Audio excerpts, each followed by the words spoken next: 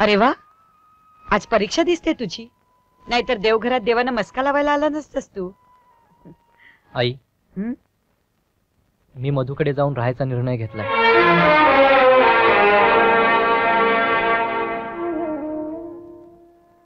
माझा इथं अभ्यास होणार नाही. इथं माझा जीव गुदमरतोय. ज्याचा स्वतःच्या घरात जीव गुदमरतो त्याची जगात कुठेही तीच अवस्था होती सुधीर. पण हे घर आधी मला स्वतःच वाटलं पाहिजे ना? हे घर आधी तुझंच होतं.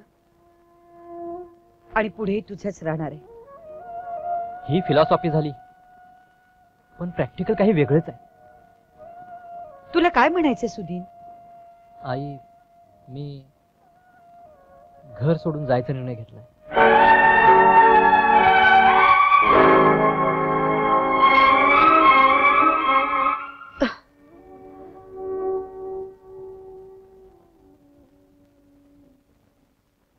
निर्णय घेण्या इतका तू मोठा झालास हे लक्षातच आलं नव्हतं माझ्या. जा सुधीन जा. इतकी वर्ष मी नवऱ्याशिवाय काढली. आता मुलांशिवाय काढे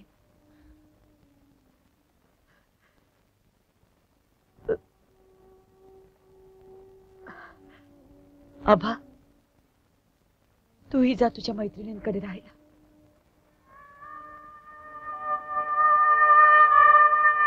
मी मी ना नवऱ्याला सोडू शकत ना मुलांना.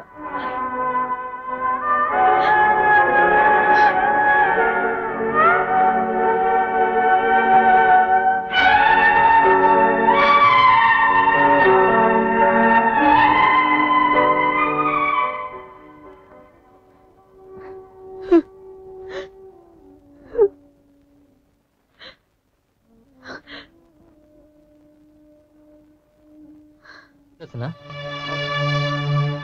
नाही. यांच्या नोकरीचं कुठे जमत नाही. नुसतं बसून राहणं यांच्या स्वभावात नाही.